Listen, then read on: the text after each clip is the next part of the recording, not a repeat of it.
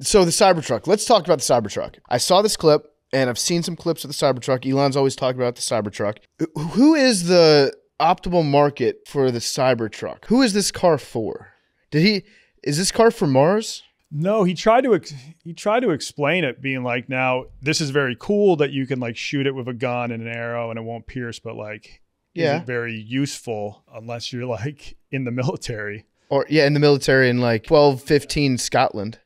Yeah, The arrow, the arrow defense would come in handy. and then Elon's response was like, "Well, trucks are supposed to be tough, and what's tougher than being able to take a bullet or an arrow?" I, I love that because somebody's like, "Hey, Elon, quick question. This truck looks great. Uh, it's weird. It's kind of strange design, but it's uh, obviously able to take a lot of damage.